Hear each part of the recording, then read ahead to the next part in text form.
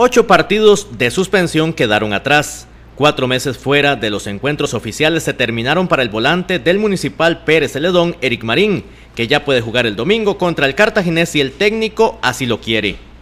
Marín dice que regresa siendo un mejor jugador y todo lo que pasó luego de escupir a un futbolista de esa prisa le sirvió bastante en su carrera. Sí, claro, yo creo que es más maduro uno, yo creo que, que hay cosas que uno hace que tal vez este, por un momento de, de cólera no tiene que hacerlas. Yo creo que sí, vengo un poco más maduro, más, más centrado y no, yo creo que más profesional en eso. Siempre he tratado de ser día con día más profesional en, mi trabajo, en las cosas que hago, en mi cuidado.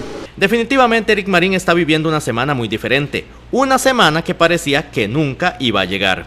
Pero no, igual estoy contento porque ya, ya sé que ya puedo volver a jugar, en semana de competencia estoy, entonces para mí es más motivante, ya creo que ya pasó lo, más feo. Yo creo que ahora lo que viene es este y lo mejor para mí. Muchos se preguntan si tanto tiempo fuera de las canchas pasa alguna factura, pues el volante responde esta pregunta con toda sinceridad.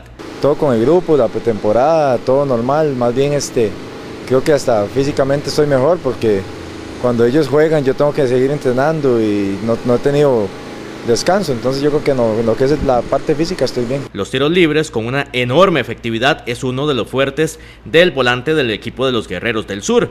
Y en todo este tiempo los practicó para afinar aún más la puntería. Hay tempillos para poderse practicar. Este, igual no, he seguido, he seguido practicando porque este, para lo que viene. Yo creo que, que estar un poquito más afinado para, para lo que viene el torneo, que todavía faltan bastantes partidos. Eric Marín cumplió su sanción contra Carmelita y ahora solo espera la oportunidad para volver a pisar un terreno de la primera división de manera oficial.